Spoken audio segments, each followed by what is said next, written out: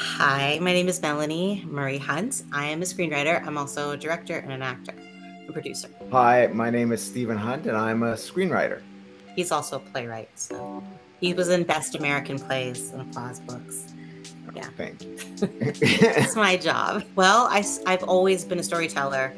And when I was little, I would I was a neighborhood storyteller and I always told stories. I was in love with all the movies as well. Everything that was on television, I was there. But yes, I mean, I started off as an actor and I was like, wow, there's not enough for me to do. I want to play a woman in a corset and I want to do like, you know, 19th century, you know, Jane Austen movies, but where are the stories that would accommodate me in the way I look? And so I don't know. I'm just a born, like, I was born to tell stories, um, just has always been in me. Um, you know what I, what I just thought of was the first time I went to the drive-in movies with my family. We saw The Love Bug and Swiss Family Robinson, and it was sort of. You know, it was amazing to go to the movies and see Swiss Family Robinson and Herbie the Love Bug. And I guess I just fell in love with uh, movies and storytelling, and thought, you know, that would be the coolest thing in the world would be to to actually be part of creating them. Feel like I have some things that I was looking at the poster of the hoodwink that I did, and that's a well, we did it together as a script, and then I turned it into a solo show, and it's about when I was a TV actress on a Nickelodeon show called 100 Deeds for Eddie McDowd. There's this movie called Tootsie, and we're like, let's turn that into like a reverse black lady tootsie we called it the hoodwink. And it was about like the double play on like the hood you know and like the hoodwink. And so yeah i was really proud of that because it was such a we worked on it together and drew some things from from our lives. And then um, when i turned it to a solo show i got to act all the parts. That was extremely exciting and electric to be on stage with the audience like that. And then the other thing is a project that we worked on together as a pilot for Time Warner called um, The White Guy. It like signified a change, like a sea change in how we think about talking about race in front of people. That was that was a play I started working on in New York, and uh, it was kind of the first time ex- exploring the racial experience of being white and a guy and straight. And it was a comedy. And we ended up getting it to the public theater in New York and taking it to LA and and it ended up becoming a pilot with Time Warner. And uh, we got to go to Quincy Jones' house twice and meet Quincy Jones because he was also developing it with us. When I lived in New York and I wanted to be a playwright, and I start to think of what you write about and the whole process of consciously trying to come up with a story or something that you think is going to be a hit. You want to write a hit, right? And then every time I tried to do that, I wrote something that was kind of, I didn't really do it right. Like it wasn't ever a hit and no one really liked what I was doing. And then I started to write The White Guy, which was more just stories about my life that were little monologues that were like six or seven minutes a piece and stringing them together and kind of making it up as I went along and being personal and trying to be honest. It was the thing that worked and it was the thing that became a hit. And I never thought when I was writing those stories, those were just kind of like letting off steam storytelling things for myself that anyone would be very interested or, or that it would lead to something. And so it was instructive in the way that what people respond to isn't always that side of your brain where you're trying to uh, delve into the architecture of what's a hit. So. Nothing. It just flows out of me in a burst of joy all the time.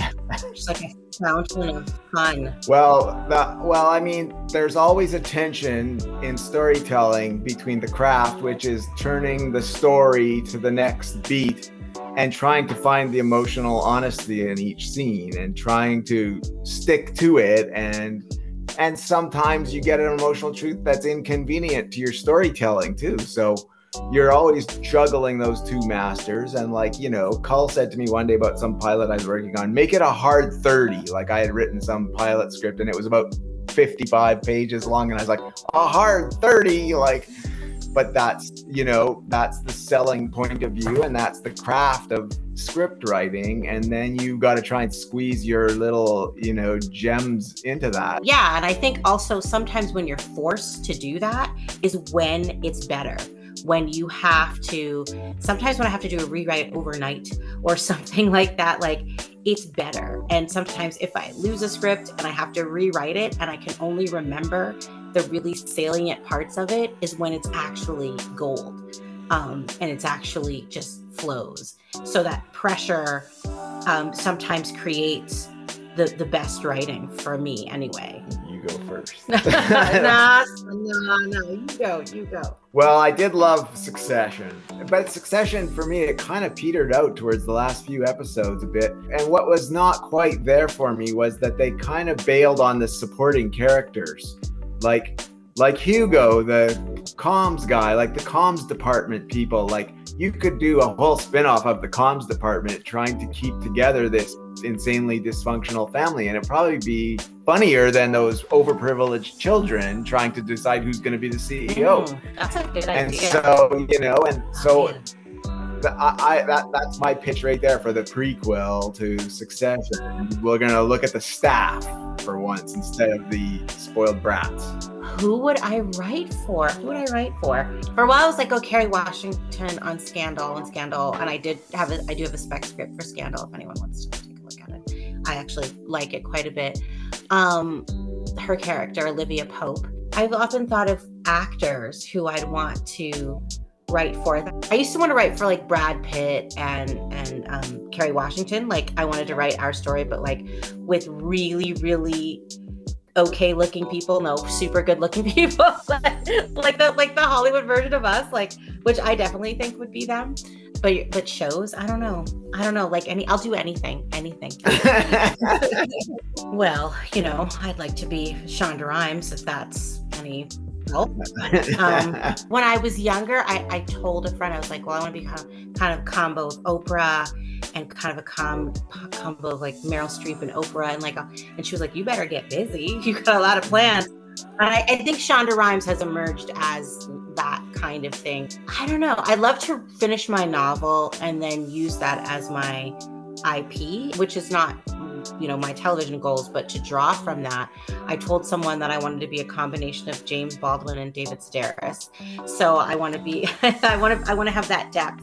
And i but life is inherently absurd and it's inherently really funny and and deeply deeply moving. And um i want to explore kind of the the the intersection of those those things Well, I was just thinking of going to see the movie I Like Movies, and I really love that movie, and I love the feeling of watching it and feeling like um, like when her mom is like, "Go to go to Carleton to study film," and, and he's like, "I won't don't want to be a Canadian filmmaker."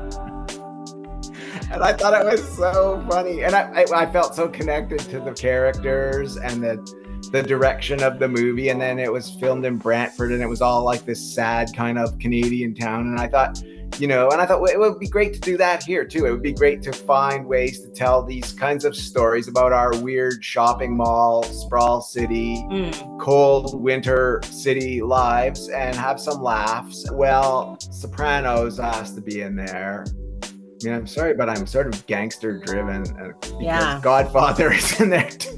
Superstore. I like Superstore. Uh, I really love that. Yes, I really, really love it. I don't want to mention Big Bang Theory I was gonna say because that too. because it's so male. Like it's so, but I think the writing on that is just great. Like I just think that the comedy and the acting is so on point. So I I love that show.